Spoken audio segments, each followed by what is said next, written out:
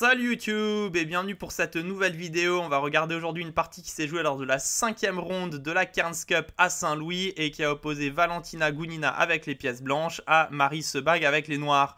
Donc Valentina Gounina, vous la connaissez, j'imagine en tout cas, puisqu'elle a joué avec nous la Pro Chess League la saison dernière. Elle joue encore avec nous cette saison, mais elle n'a pas encore pu être titularisée, parce qu'elle est tout le temps en tournoi. Elle a joué Gibraltar, là on la voit à la Cairns Cup.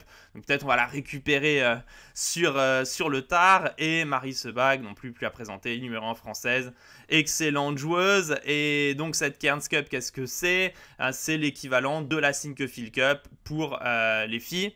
Donc il y a euh, un grand nombre des meilleures joueuses du monde qui y participent. Et ce tournoi, il est bien placé dans le calendrier d'ailleurs, puisque euh, ce mois de février, pour les échecs mixtes, c'est un mois assez creux. Il n'y a pas vraiment de tournoi. On a eu Vikenzi et Gibraltar euh, en janvier. Alors, voilà, février, pas grand chose. Ça va reprendre en, mars avec ce qu'ils appellent, je crois, le World Team, qui est un peu l'équivalent d'un championnat du monde euh, par nation euh, qui sont sélectionnés. Donc c'est un genre d'Olympiade bis, mais avec peu d'équipes.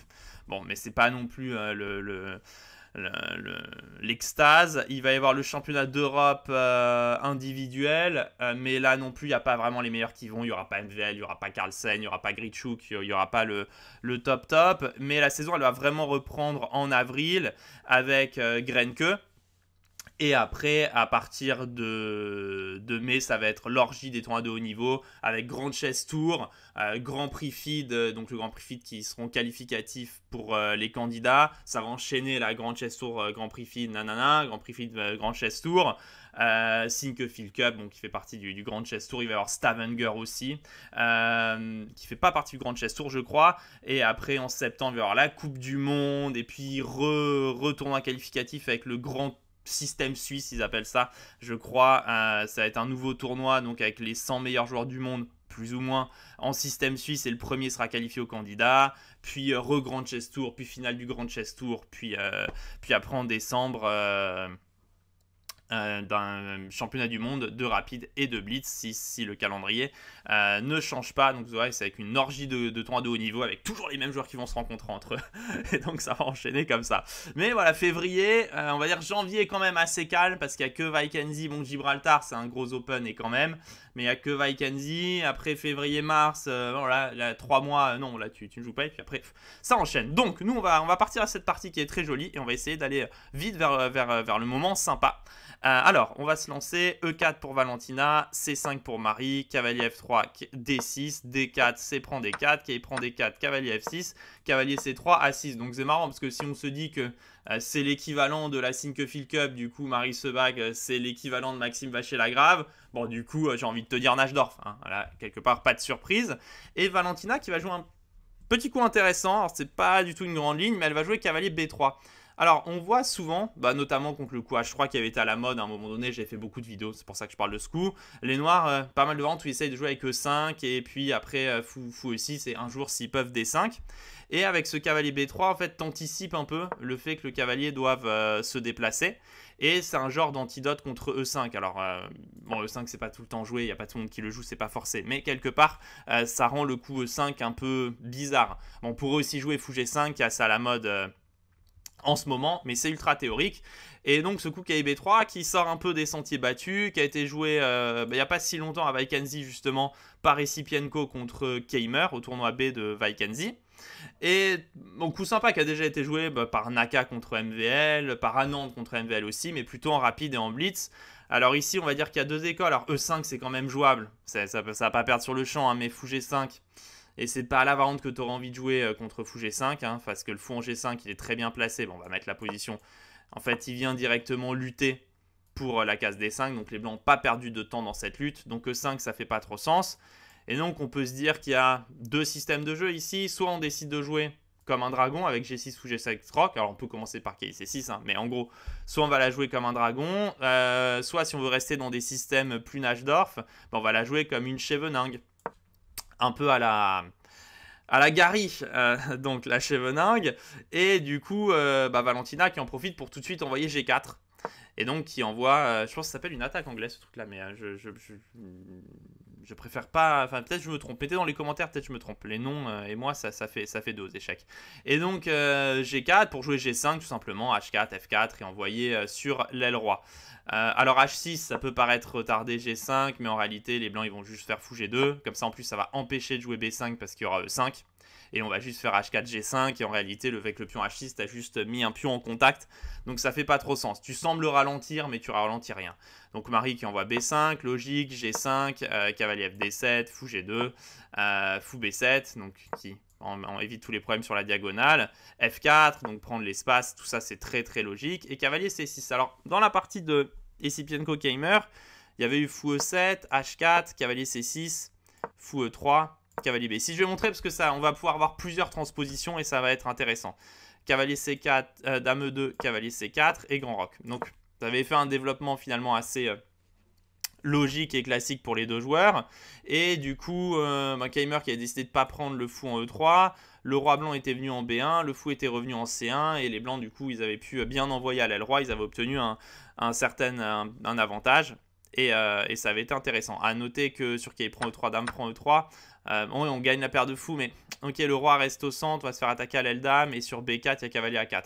Après, ça se joue, mais hmm, moi, je toujours un meilleur feeling perso avec les blancs, donc je vais un peu surévaluer les blancs dans ces positions-là, et, euh, je suis pas forcément très objectif, donc je fais gaffe à mes évaluations, mais ok, donc position jouable pourquoi pas. Mais du coup, Marie, elle va faire un truc pas idiot. Et Keimer qui n'avait pas vraiment rocké parce que euh, il y a H5, G6 qui arrivait vite. Donc il avait encore, il avait attendu quelques coups.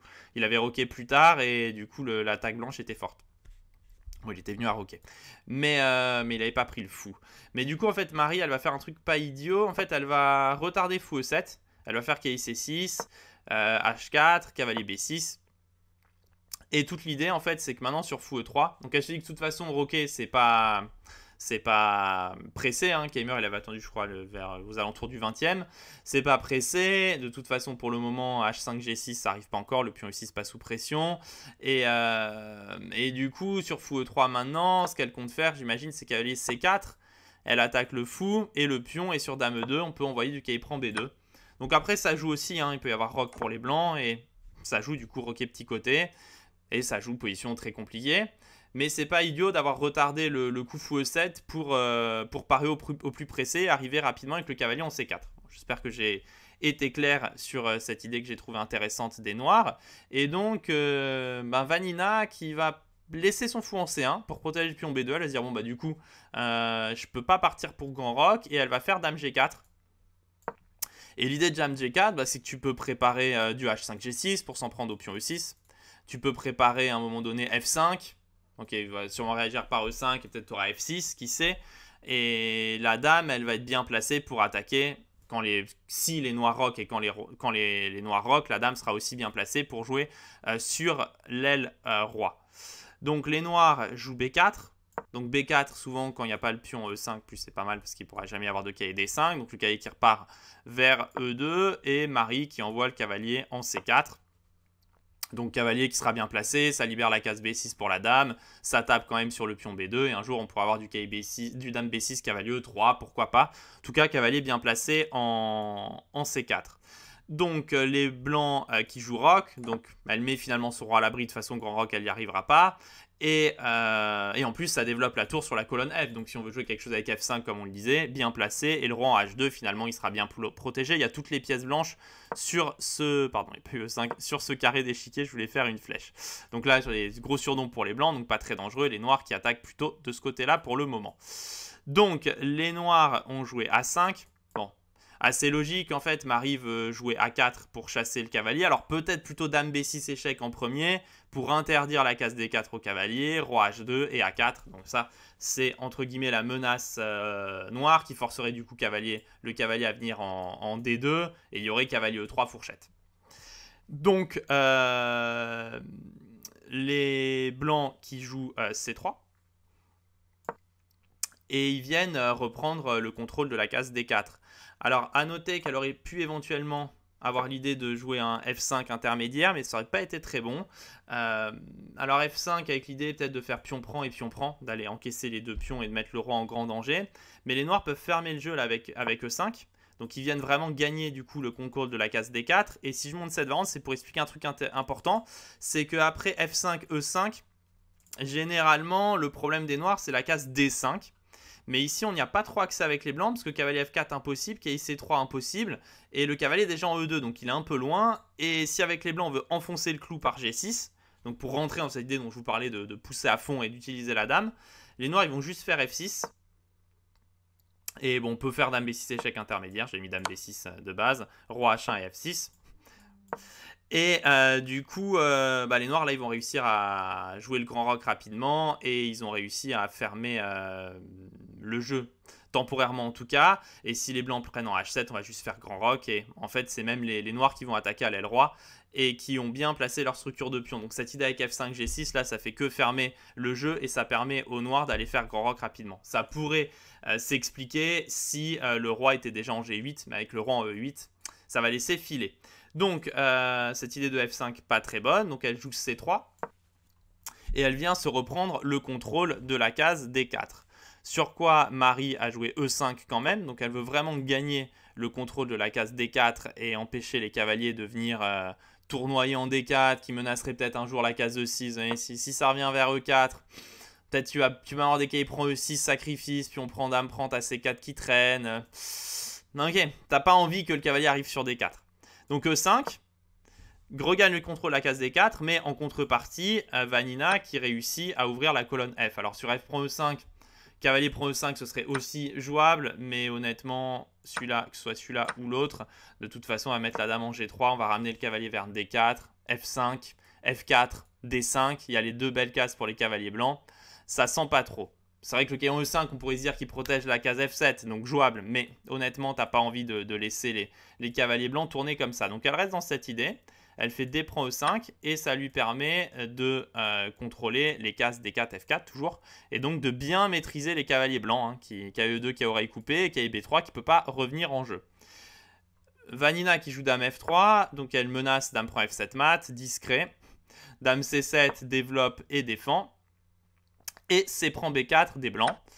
Donc elle se débarrasse du pion, euh, du pion B4. Et ici, choix important pour Marie. Alors, elle a joué qu'elle prend B4 avec euh, l'idée de venir menacer des choses à base de cavalier C2 menace la tour et pouvoir éventuellement rebondir après vers la case E3. Après, apprend B4 était aussi possible. Euh, contrôler la case C3, du coup, pour vraiment bien verrouiller le cavalier. On peut imaginer euh, pour les blancs cavalier G3, donc pour repartir viser la case F5, hein, vu que le cavalier a plus d'avenir et plus de possibilité de revenir vers D5. Sur quoi les noirs peuvent jouer G6 éventuellement. Dame F6 s'en prend à la tour et interdit les rocs des deux côtés.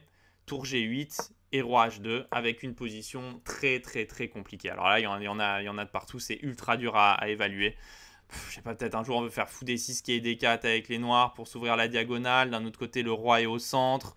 Le fou C1 a du mal à se développer, donc la tour A1 aussi. Euh, le roi H2 pour le moment en sécurité, mais est-il aussi en sécurité que ça On ne sait pas. Est-ce que le roi noir peut vraiment être attaqué même s'il reste au centre toute la partie? J'ai envie de dire on ne sait pas non plus. Pour le moment, fou E7, pas possible, il y a dame prend F7, mais peut-être on peut juste jouer fou D6, tour D8 ou tour C8. Est-ce que c'est si grave? Est-ce que c'est si grave pour les noirs? Enfin, en tout cas, c'est une position très difficile à évaluer, très dynamique. Mais Marie qui a décidé de partir pour cavalier prend B4. Donc avec cette idée aussi très logique d'envoyer le cavalier en C2, éventuellement attaquer ça, donc comme je disais, et s'en prendre à la case de 3. Vanina qui enchaîne directement par case C3, donc elle revise la case D5, hein, évidemment c'est la case la plus intéressante pour le cavalier, ça attaquerait la dame et il est super bien centralisé. Et euh, les noirs envoient A4, avec une idée toute bête, c'est que si le cavalier B3 bouge, bah, il a que la case D2, et on va se prendre fou C5 échec, roi H1, cavalier E3, menace la tour, admettons tour E1, cavalier prend G2, dame prend G2, donc déjà tu souffles sur case blanche et on sent là que maintenant rock est possible à tout moment, et cavalier C2, fourchette, et on voit bien que les noirs, euh, enfin là les blancs ils ont les pions poussés devant le roi, mais en fait il n'y a plus cette, solidité autour du roi, le fou B7 monstrueux, la qualité qui tombe, le rock qui sera sécurisé, les noirs sont complètement gagnants. Mais... Euh, Valentina a une autre idée sur euh, A4, elle décide de faire cavalier B5. Donc un peu forcé hein, de toute façon. Bouger le cavalier, ça perd direct. Donc est B5, mais elle attaque la dame. Et quelque part, elle met la pression sur ce pion, euh, sur ce pion F7, puisque la dame va devoir bouger. Alors là, plein d'options. Premier truc qu'on peut regarder, c'est dame B6 échec, roi H2 et grand roc. Avec l'idée que bah, on s'est échappé avec le roi noir, finalement, on s'est échappé des dames prend F7 échec, et maintenant les blancs restent avec euh, deux pièces menacées, le cavalier B5 et le cavalier B3. Mais là, il y a une manière très jolie de défendre les deux pièces, de sauver la pièce. C'est cavalier A3. Le cavalier qui est attaqué repart en menaçant cavalier C4. Et l'idée, c'est que sur cavalier prend A3, on a B prend A3.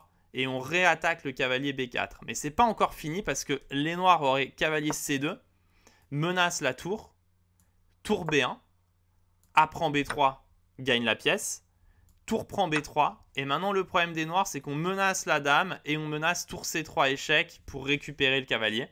Donc, vraiment très longue, mais c'est pas encore fini. Bon, la chance avec les noirs, tu t'arrêtes de calculer, mais c'est pas encore fini. Tour B3, tour C3, si tu arrives jusque-là. Fou C5, avec l'idée hyper vicieuse que sur tour prend C2, donc c'est la meilleure variante. Hein. Fou G1 échec, roi prend G1, dame prend C2. Donc finalement, les noirs ont une qualité de plus. Mais après Dame F5, Roi B8 et Dame prend E5, les blancs ont quand même l'avantage parce qu'ils ont déjà deux pions pour la qualité. Bon, même si c'est des pions doublés, tu as quand même deux pions, on va dire un pion, un gros pion. On menace quand même d'en taper un deuxième. Et le roi noir, il a plus aucun pion devant lui. Donc c'est vrai que le fou F3, fou E3, fou F4, ça va faire mal sur case noire. Case A5 pour la dame éventuellement pour attaquer sur la colonne A. Et les noirs sont mal. Mais déjà, va rendre très joli. Et donc dame B6, euh, ouais, donc on a regardé roi H2 et grand roc. Donc qui aurait pu paraître une option, mais qui sauve pas. Et donc ici, on pourrait faire roi H2, dame prend B5. Euh, dame prend F7, roi D8. Et, euh, et, G6. Mais on reviendra à ça plus tard. Ça transpose quasiment dans la partie, sauf que le fou ici en G2 et dans la partie il sera en H3. On va le voir. Mais dans la, sur le cavalier B5, Marie qui joue, cavalier, qui joue dame D7. Donc qui s'en prend au cavalier B5 et qui garde la protection du pion F7. Mais ici, euh, Valentina va jouer fou H3. Donc elle menace la dame. Bon, on est parti pour cette variante-là. Donc maintenant, on part pour euh, dame prend B5. Logique. Dame prend F7 échec et roi D8. Et à vrai dire ici, euh, qu'est-ce qui se passe? On a une pièce de moins avec les blancs, puisqu'on a sacrifié le cavalier B5. Mais le roi est dans un réseau. Et il est dans un sale réseau, parce qu'il y a dame D7 qu'il faut toujours couvrir. Donc ça, c'est première menace. Mais il y a un deuxième problème, c'est comme vous le voyez, le roi, il a plus de cases pour se déplacer. Il est complètement enfermé en, D8. Et les blancs en profitent, ils ramènent une nouvelle pièce en attaque. Donc on voit depuis tout à l'heure que le fou C1, il joue pas et la tour A1 non plus. Et donc elle joue G6 qui a pour idée simplement de faire fou G5, euh, ben, quasi mat, hein, on va être obligé de faire fou E7, dame E7 mat. Donc sur quoi il n'y a que deux options, en gros, pour arrêter. Alors fou E7, ça va pas être joué parce qu'après fou G5, menace mat, fou prend G5, il y a tour A D1. Et on ramène, euh, et on ramène encore du matériel à l'attaque. Et sur par exemple KD5, on va pas tout regarder, hein, mais c'est une vente rapide juste G. Euh, les, blancs ont récupéré euh, le, matériel ici. Enfin, n'ont pas encore récupéré, mais ils vont récupérer euh, le cavalier en D5. Bon, ils peuvent peut-être perdre D3 au passage, mais il y a G7 qui tombe. Il y a beaucoup de choses qui tombent et l'attaque blanche est, vraiment forte. On va pas se perdre dans les, dans les variantes annexes. Mais fou 7 ça n'a pas, ça pas une, une, jolie tête. Donc elle fait H6, qui a une meilleure tête, a priori, parce que sur fou prend H6, donc qui est joué euh, par, par les blancs. Elle fait G prend H6, donc elle essaye de garder plus de, pièces en vie, quoi. Au moins, elle gagne, gagne le fou euh, net. Et euh, les blancs jouent tour AD1. Échec. Pardon, pas en C1. Et tour AD1, échec. Donc, assez difficile, puisque les noirs sont obligés de couvrir cet échec. Et le moyen pour pas donner de pièces pour le couvrir, ce serait de jouer fou D6. Parce qu'il y a aussi la menace G7 qui traîne. Donc cavalier D6, tu vas te prendre quelque chose avec G7. Ça fait pas très plaisir. Le cavalier, pour le garder sous protection, ça va pas être évident. Le fou, on menace de faire une dame ici ou une autre là. Donc le truc que tu as envie de faire, c'est plutôt fou D6. En te disant que si les blancs te jouent un truc avec G7, tour 8, G8, tu rendras la tour, tu mettras le roi en C7 et tu vas te, quelque part tu vas te couvrir quoi matériellement, tu seras à deux pièces pour, euh, pour la tour. Et ton roi, il sera solide. Tu seras autour de toutes tes pièces noires. Et fondamentalement, c'est peut-être même le roi blanc qui peut être en danger avec les lignes qui vont s'ouvrir. Mais ici, les blancs ont un très fort, très fort coup, donc ils commencent, commence quand même par G7, tour 8, ça mange pas de pain, et maintenant fou E6. Et le problème, c'est que les noirs, là, ils sont complètement attachés. La dame B5, elle est attachée à la case D7. Le cavalier, il est attaqué et il y a D6 en prise. Pendant que je fais la vidéo, on retrouve un Tipeee. Bon, ce sera pas coupé au montage. C'est fantastique. Le truc par hasard. J'en profite pour remercier tous les gens qui font des Tipeee. Et, euh, et les Utipeurs qui regardent des pubs. Vraiment. La coïncidence arrive quasiment jamais quand on fait pas de vidéo. Et voilà, donc voilà, vous prend C4 et tout reprend D6. Et, euh, et, oui, comme je disais, la dame en D7 est, bloquée à la protection. Le en C4 est bloqué à la protection du fou, parce que si la tour prend D6, ça va faire un mat. Euh, et les noirs n'ont pas vraiment de coup utile. Tour E7, tu peux pas parce qu'il y a le pion G euh, qui qui va pousser et qui va faire dame. Donc les noirs sont juste ficelés. Admettons, apprend B3. Fou prend C4. Donc menace la dame. La dame repart en D7. Et maintenant, jolie combinaison pour finir. Tour prend D6. Dévie la dame. Dame prend E8. Gagne la tour. G8 dame échec. Le roi doit monter. Et dame G7. Et c'est fantastique parce que si le roi part sur la 8 il y a tour F8, mat de l'escalier. Et si le roi part sur la 16 il y a tour F6 et on gagne la dame. Mais c'est genre de variante euh, qui qui doit arriver, parce que tu vois, tu as, le... Ok, mais tu as, as, le roi qui a plus de case d'échappée, tu as la case D7 qui fait que le, déplacement de la dame est tabou, tu as le pion G qui pousse, tu as la tour sur la colonne D. C'est la catastrophada, j'ai envie de dire. C'est la catastrophada, c'est pas défendable. Donc sur tour AD1, Marie qui a tenté cavalier D5, donc elle colmate euh, comme elle peut. Sur quoi euh, les blancs ont continué par G7. Donc il envoie, elle envoie le, pion, menace de faire dame. Donc il faut rendre le fou, fou prend G7, dame prend G7. Et après en B3. Donc on peut dire que ça ressemble un peu dans l'esprit à, la position de, tout à l'heure que je vous ai que montré avec le fou E7, fou prend G5, un peu, un peu dans ce même esprit. Et là, les blancs qui vont pas finir le coup en jouant dame prend H8 pour y avoir roi C7, et peut-être que les noirs peuvent encore euh, un, peu, lutter, mais euh, elle va faire beaucoup plus fort, elle va mettre la tour en F7, et ça, c'est vraiment très fort parce que maintenant, on a l'idée de faire Dame F6 et il n'y a plus la case C7 de repli. Bon, on a aussi Dame prend H8, hein, mais genre, on rajoute encore euh, en plus les Dames F6 et compagnie. Donc Marie qui a joué Dame C5 échec, Roi H2. Et c'est la catastrophe. Il y a cette menace de Dame F6 qui est Dame prend H8 qui est trop forte. alors là, euh, bah, j'ai mis deux options. La partie, euh, bon, on va regarder en deuxième.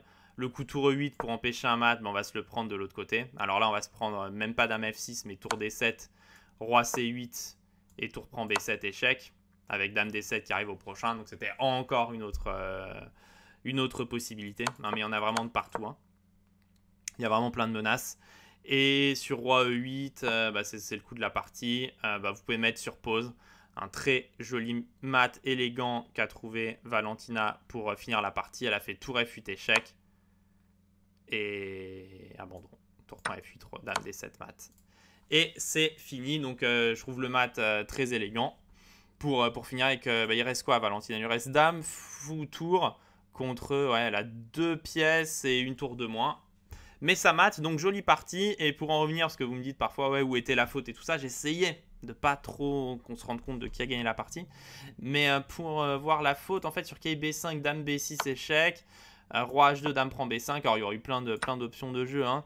Mais l'ordi te dit que ça, avec le hum, fou en G2, enfin, avec roi H2 au lieu de fou H3, donc il n'y a plus le problème des dames des 7 mat, euh, bah, il te dit ça que c'est que c'est égal. Alors que c'est égal, je mets juste la variante de fou. Hein. Il te dit, bon, fou prend H6 quand même, parce que j'ai quand même envie de te faire fou G5. Là-dessus, bon, je ne touche pas, je ne touche à rien, je te fais apprendre B3. Ça ne m'intéresse pas. Donc toute la différence, c'est moi, sur les fou G5, il y a roi C8, roi B8. Hein. Bon, bah là, du coup, il te dit, j'ai deux pièces de moins, j'ai encore une pièce de, en prise, mais je te fais tour C1. Ça, ça ne m'intéresse pas. Je veux te bloquer euh, et t'empêcher de partir à rebrousse-poil. À rebrousse-poil. Sur quoi il te dit B prend A2. Bon, bah, ils s'en foutent complètement avec les noirs. Empêche-moi de partir à rebrousse-poil, moi, je vais te faire une dame, dégage tu reprends C4, bon ok, enfin là je te masse quand même de te mater. Fou 7, bon là il te dit c'est égal, bon on ne sait pas, on ne sait pas en fait. Quand tu vas bouger ton fou, tu auras peut-être des problèmes sur le pion H4, enfin bon, c'est le bordel, euh, un bordel incroyable. Euh, c'est vrai que le pion A2, on comprend qu'il sert, parce que si tu fais un et que tu encaisses la tour F1 entre guillemets, ça va quand même bien baisser l'attaque blanche, parce qu'il y aura moins de, de problèmes sur la colonne D.